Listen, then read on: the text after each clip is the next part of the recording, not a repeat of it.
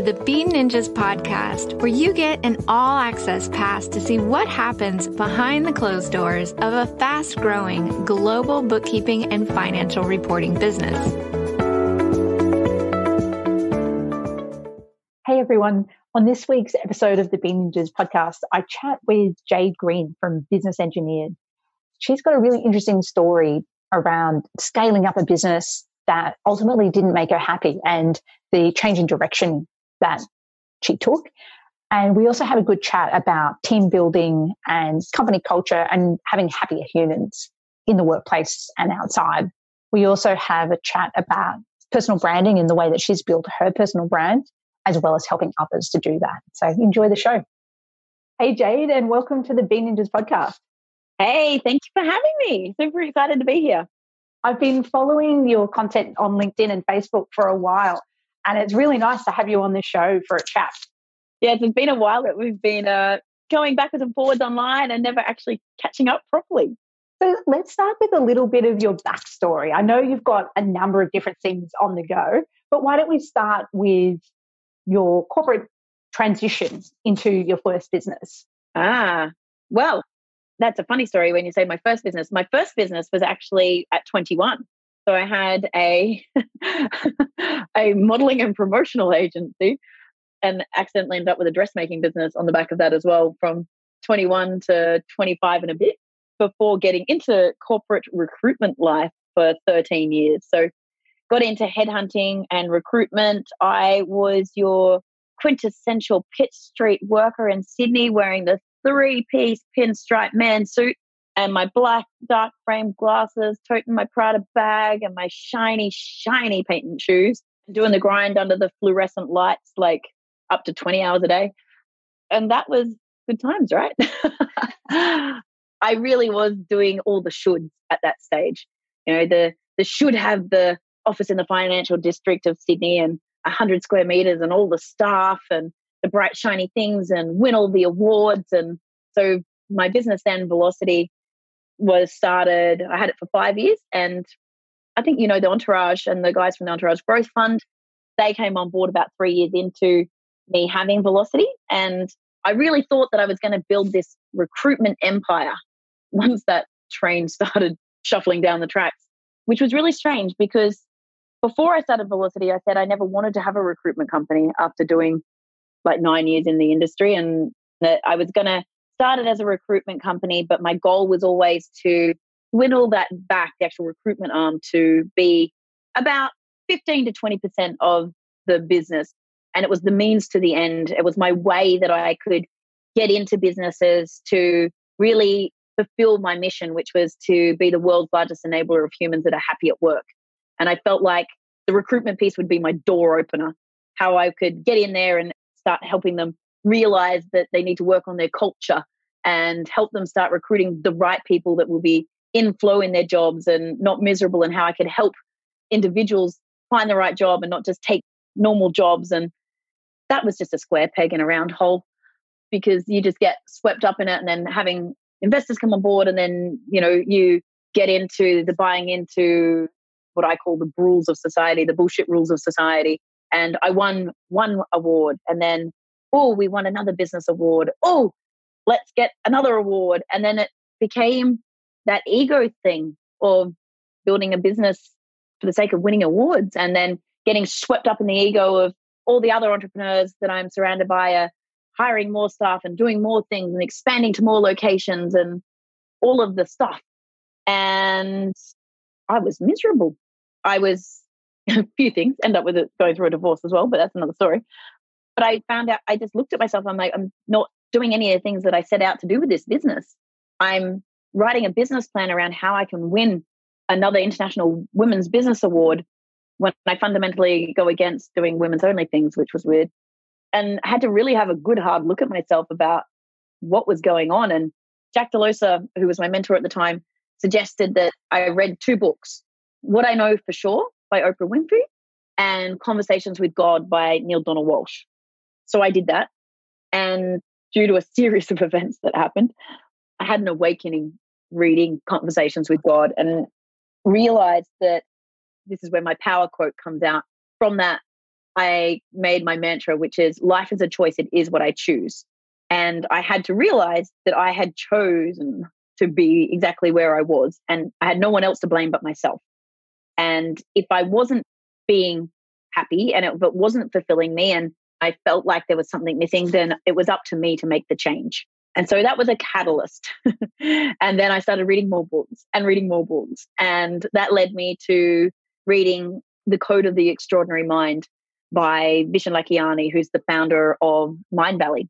And so I read the code and I turned to my flatmate at the time and I said to him, I'm going to fly to KL and where their head office is and convince Vishen to license me in Australia so that I can come back and teach all of my clients the Mind Valley culture ways because like this is how we can make happier humans and I believe that happiness is the greatest hack to productivity and profitability and so if I can convince them of this and I've got the Mind Valley backing then I'll be able to like this is the key. I didn't fly off to see Vishen straight away and I went on a series of more spiritual awakening and searching and really some self-sabotage to be honest Meryl if I look back there was things I was doing that was self-sabotaging my business and the success of my business in terms of placing trust in people that I shouldn't have ever placed a trust in, just blind trust because I wanted to spend, I needed to help my family and I needed to fly away and be out of my business. I just wanted to trust that they'd look after it so I could do what I wanted to do, which was spend more time up in Queensland with my family and help my sister. And I dropped the ball on it. And so that forced my hand into making some decisions. And my mentor said to me, the business is killing you. Stop flogging the dead horse.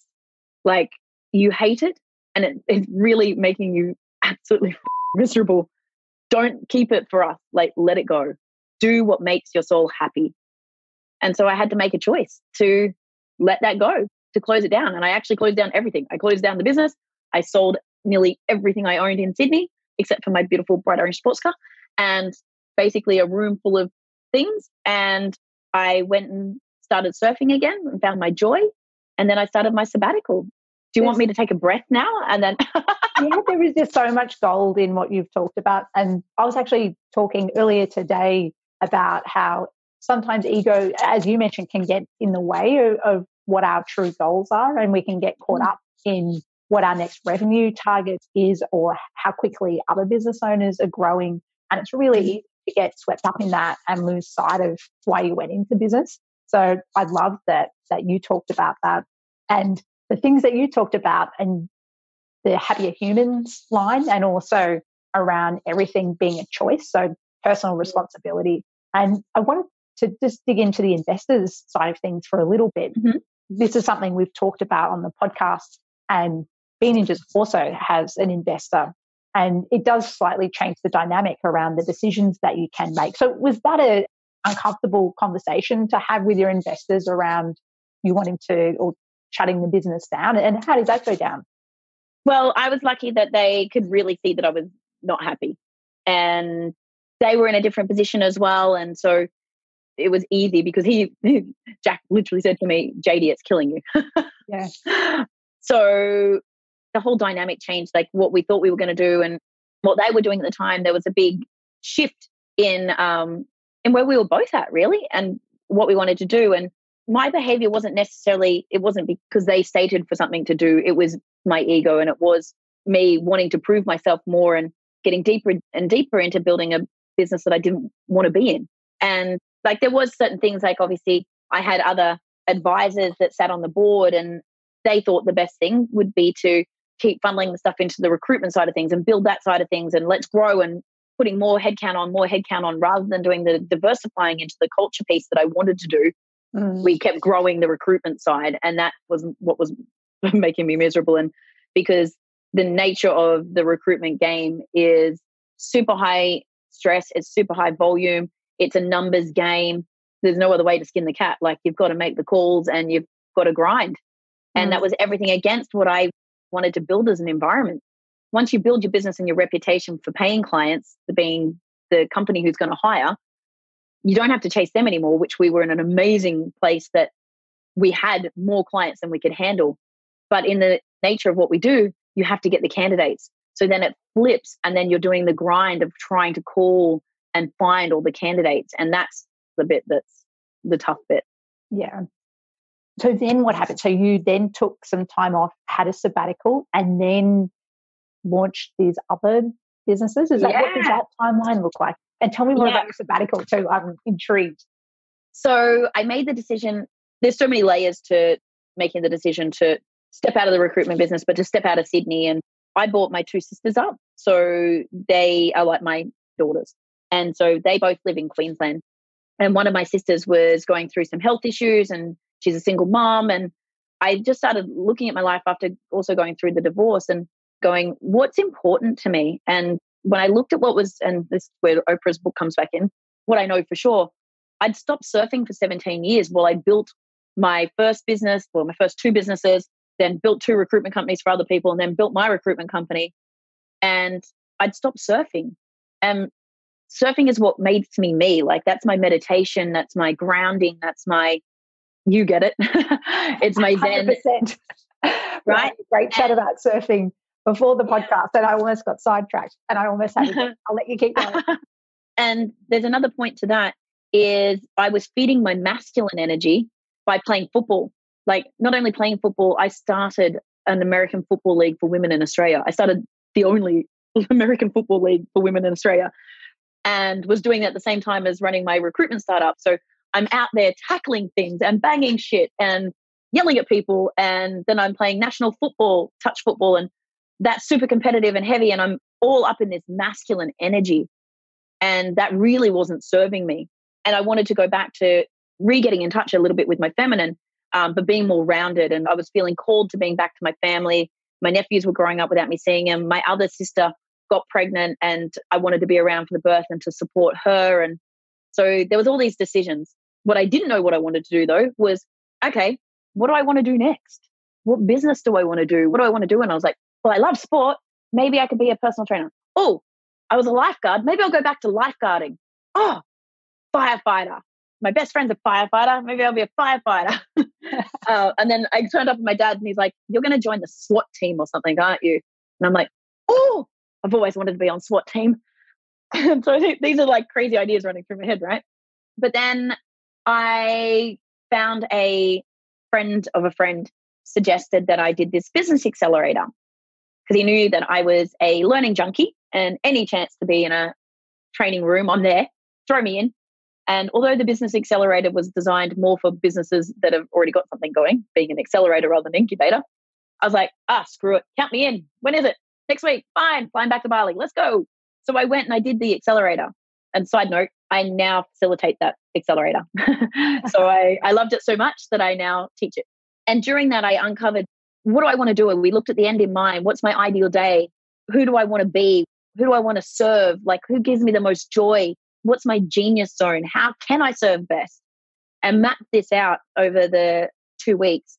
And then sat down and went, who are the organizations that I respect the most in the world that are doing this, who already have a platform, who already have a client base, that I could tap into because I'm changing fields, right? I've built a reputation for 13 years in headhunting and recruitment. I'm completely shifting gears. And I've decided that the thing that brings me the most joy was I always consulted and coached my clients. I just didn't get paid for it on the recruitment piece or on their employer brand or on their personal brand and how to build their businesses and helping them from startup stage to growth. And I do all that to help them so that they could recruit off me, but I only got paid for the recruitment. And I was like, but that's what brings me the joy coaching and facilitating and training and having an impact. So I wrote down on the piece of paper that I wanted to align with Mind Valley. The book popped up again. Mind Valley and Entrepreneur Resorts Entrepreneurs Institute, who was doing the course at the time. So I left that course on the Sunday and I flew to Barcelona to where Mind Valley was having their very first Mind Valley University so that I could go to a three day seminar with Neale Donald Walsch, whose book was the catalyst for my getting a divorce basically and changing my life. And at the very end of that month in Barcelona, I did a meditation session, a seminar called Becoming Extraordinary with Vishen, who wrote the book.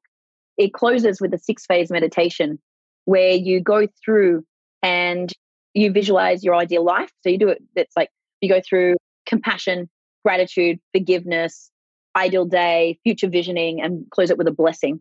And in the future visioning, it's going to sound woo woo as shit, Meryl, God. Uh, you sit down and you visualize, you meditate on what's your ideal day the next day. And my ideal day went like this I'm going to wake up in the morning refreshed and not hungover because I'm not going to drink too much at the closing party tonight. Going to pack my surfboard bag easily because it's a nightmare and it's going to be smooth. I'm going to catch up with my friend Martin, who's got a meeting with Vishen in the morning, and he's going to tell me what's my best way to pitch Vishen to teach me the Mindvalley ways to bring it back to Australia and be the license. And then Vishen's going to ask me to have dinner with him. And then I'm going to have dinner with Vision and I'm going to convince him to give me the rights to Australia. He closes the meditation. He stands up and he's like, So, my wife Christina is flying off tonight and she's not going to be here tomorrow. And I'm wondering who would be interested in having dinner with me. And I'm like, I'm already there. And he said, and over the last two days, we've realized what we really need is to certify some trainers around the globe to really help take the School of Humanity to the streets and impact a billion people. So we're looking to license people in each of the countries. like, shut up and take my money. Uh, so that started my Mind Valley journey. So the time frame from making the decision to wind up velocity and to make my move, I did that in February, and this was in the June. So I did the iLab Entrepreneurs Accelerator in the end of May, and then flew off and did June in Barcelona. And I started my journey and started realizing what I wanted to do. That's when I started building Life Engineered, which I've now flipped the name to be Business Engineered to make Life Engineered a product, and started doing more and more training around how can I be of best service to the founders of fast growth startups that are starting to become conscious so that I can really, you know, fulfill my dream of being the world's largest enabler of humans that are happy at work and to help them to be able to create income so they can have an impact. That takes us through to now, which is exactly two years later. So I'm about to fly on Tuesday to Croatia for the third Mindvalley University City campus, which is going to be in Pula this year. Wow. And so it's almost like you've gone full circle and you are following that vision of producing happier humans. And it yes. wasn't possible in that first business, but in this new business, you've been able to find a way to work towards that. And so tell me more about what business engineered looks like and the life engineered product. And I know you have some other training products in there as well. So yeah. who do you work with and how do you help them? Yeah. So I work with fast growth startups. So I usually work with the founders and directly. It's usually the people that their biggest problem is time, right? They don't have time to work on their business. They don't have time to spend with their family. They don't have time to live. They are just stuck in the grind. They're wearing too many hats and they can't scale because they're the biggest iceberg in their business. Like they don't have time to train somebody else. They don't have time to recruit the right people. All of this is coming back. And so the reason why I flipped my product range at Life Engineered was the original one where I helped work with the founders on the six aspects that make them a five dimensional human. So that's business, relationships, wisdom, health, adventure, and spirituality. But what I found was most of the people I serve, they can't even think about how they're going to work on their health and their relationship and their adventure and their spirituality until they've got their business at a stage that they're more comfortable to be able to step out of it. So, being my genius, being recruitment and headhunting, I created the team engineered product, which is how teaching people how to attract, retain, and maximize their human capital. So, how to build an attraction strategy and employ a brand so you can attract world class talent, how to retain that talent in the business, and how to maximize every human's potential within the business. So, that's about helping them get into flow states, which led me to then going back to Entrepreneur Resorts and Entrepreneurs Institute to become a certified flow consultant and performance consultant because really getting to understand the personality types and how to get teams into flow to be able to make sure that people are happy. If people are in flow, they are happy, right? And if they're happy and in flow, they're more productive. And if they're more productive, they're more profitable, which then allows the businesses to scale. And therefore, the business owners can start looking at the other aspects of their life. That's why we flipped that. And then because of that, though, we started to find that, wow, the founders really need to increase their personal branding, not only for generating business so business is attracted to them and partners attracted to them, investors are attracted to them, but also so they can create an employer brand so talent is attracted to them. And someone shook me one day and they're like, you know, you're like the LinkedIn queen, right? And, you know, personal branding is your thing. And I'm like, huh? really? I'm like, oh, actually, yeah, that's actually how my whole, that's how I actually got everything that I'm doing right now. It's my personal brand.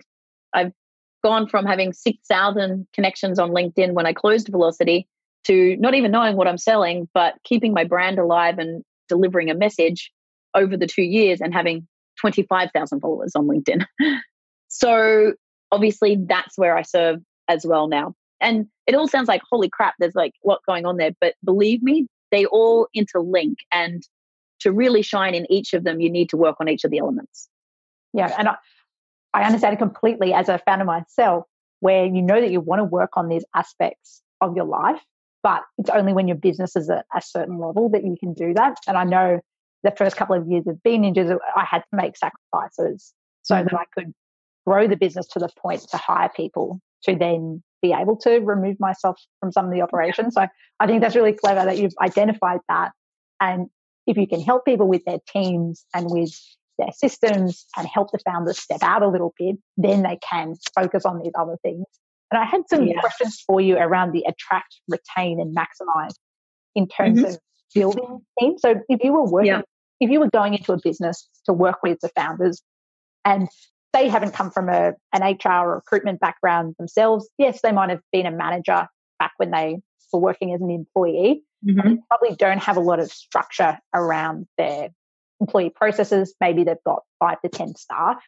How would you approach going into fixings? Because there's probably a lot of yeah. gaps, people not in the right places, maybe the uh-huh. right. So, how would you, because there's probably a lot of things to fix. Where would you yes. So, one of the key things is often if we've been managers in businesses in corporate, we've managed one department or one division, and they usually a similar personality type to us. And when we become a founder, like say you're an accountant, right? And you're used to dealing with detail orientated people and they're used to structure and process, but all of a sudden you're managing a salesperson and they're like, you know, they they go by gut and they're running around and they're loud and there's shit everywhere and Yeah, do you know what I mean? You don't even know what to do with them. And you don't know how to interview them. You don't know how to hire correctly because they talk you around in circles and they do their salesman thing on you. Where I would start is getting everyone profile tested and understanding what the genius is of each of the people that are currently in the business and getting each other to understand how to communicate with each other. And then doing a task audit on everything that gets done in the business right now. Then I get them to do their ideal day in three years' time. So, what's the ideal day for the business in three years' time? Then work backwards from that in terms of what tasks will need to be done on a daily basis if you're living that. So, if you say, we want to triple our revenue, we're going from 1 million to 3 million, and we're going to have X amount of customers, and we're going to have this platform. We go, okay, great. What are the daily tasks that need to be done to achieve that? And then we can work out a role architecture what roles will the business need to support that? Now we look at the current team. Oh, first, sorry, and then we look at the energies and the profile that's best suited to each of those jobs. And then we look at the current team and we go, okay, who's doing what now? What is inflow and what's out of flow? And what can they pick up along the way? But most importantly, what can they get rid of? Because too much founders are hanging on to shit that they shouldn't. And a lot of the time when I tell them to recruit, it's not about recruiting full time staff right now. And half the time they can use virtual assistants and streamline their processes to get a lot of the stuff off the plate first and make sure they hire the right next person that's going to get them to the growth that they need to have. And sometimes we hire because it's the thing that we least want to do.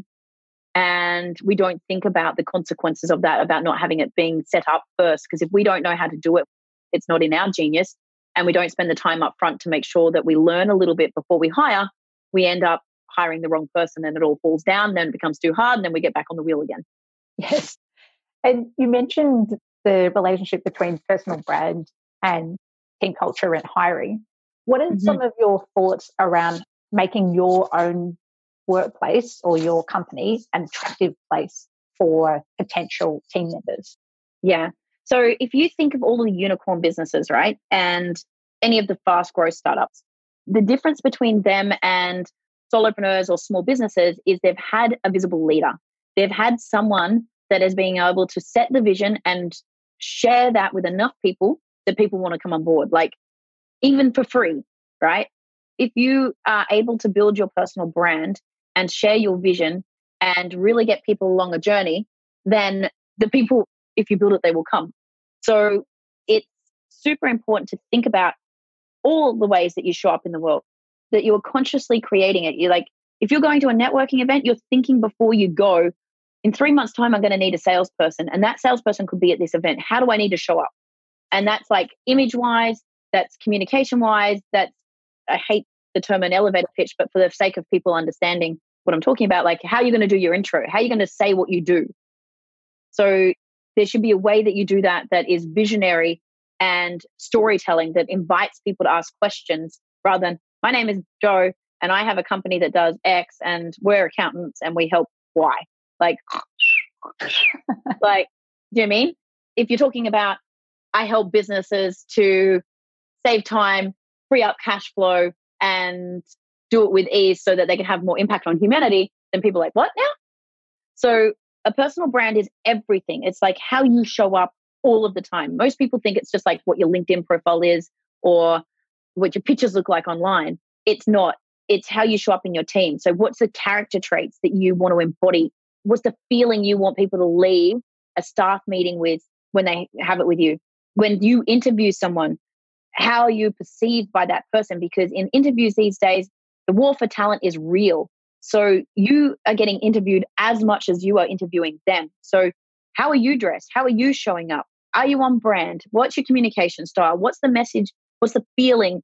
How are you going to roll them into your journey? Then are you showing up online in the same respect? So if someone actually goes looking, they're attracted to you. They're not repelled by your profile or they just think it's blah, like beige, moving on, next.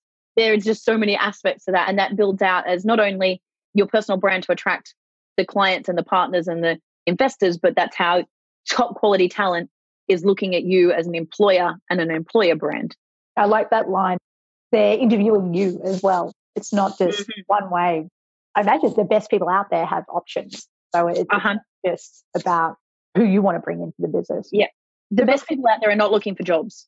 Yeah. They're not looking for jobs. They're definitely not trolling Seek. They're not like, the only time you catch those is if they've been pissed off by their boss that day and they jump on and have a quick look, but then your ad better sing like to get them. But where an employer brand or your storytelling and you you stepping up as a visible leader happens, if you start really building a culture and making waves, then the people that are working at the competitors or that they start taking notice. Like if you show up to be attractive, like you're showing up where they show up and they start seeing you, then they're like, what are you doing? And they might want to have a conversation with you. They don't even know why yet. Yeah. Before we wrap up, Jade, I wanted to ask you about your book as well. Tell me about yeah. it. Is that Ignite Your Life for Women? Have I said the name correctly? You have, you have. Funny story. Public writing is my biggest fear, paralyzing. So much so that I didn't even do my personal branding or promote the book until I was standing in line and at the airport and they were calling my name to get on the plane to fly to San Francisco to do the book launch. my sister's like, Dad is going to kill you. like, oh my God, you're dead. I'm like, great. Yeah, so the Ignite Your Life for Women is actually 35 stories about your Ignite moment in life. And your Ignite moment is that turning point. And we have them, like, we have multiple of them all through our life, right? But we had a couple of areas that they wanted to cover in the book, and that was like relationships, health, business, and consciousness. When we started talking, I spoke to the editor, and they're like, We know that you have the stories and like all these different stories. And they teased out of me to go back to my childhood. And so my story is really from trailer and trauma to triumph. And what I love about the book is that you have a power quote. There's a story about, like a backstory on the Ignite moment, and it's what you did with that moment. It's not about getting down in the depths and staying in the wallow of like how shit your life was. It's like, what was that moment that was the turning point? And then how did that help you get to where you are? And then we give an action step. So, an actual step of what you can do to live a more exceptional life.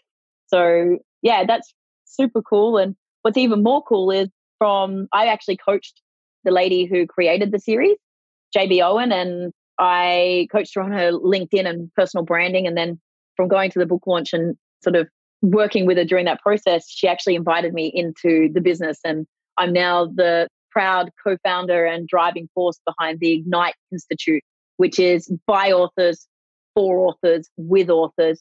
And I'm going to be teaching all of my personal branding, my business accelerators, my how to build courses, how to have more of an income so that you can have more of an impact on the world for anyone who is an author. So that's my new side project. Just to fit in with all your spare time. Yeah, heaps of spare time. Like we said today, no surfing today. well, Jade, it's been fantastic having you on the show. I really enjoyed our, our chat. If our audience wanted to get in touch with you or work with you, what would be the yeah. best way to do that? Yeah, the best way, as I said, LinkedIn is kind of my thing. So that's my social media of choice. You can find me on there just under Jade Green AU. So for Australia, AU. But that's my handle on everything. So if you want to connect with me on any social media, just Jade Green AU. My website is under construction, but it is businessengineered.com. The number one thing that I'm working on at the moment is that personal branding masterclass in Bali, and you can find out all of that on any of my socials. And we'll link to that in the show notes as well. Thank you. Well, thanks so much, Jade. It's been awesome. It has been awesome. Thank you. And I am just grateful for having to be on the show and connecting with you, Meryl.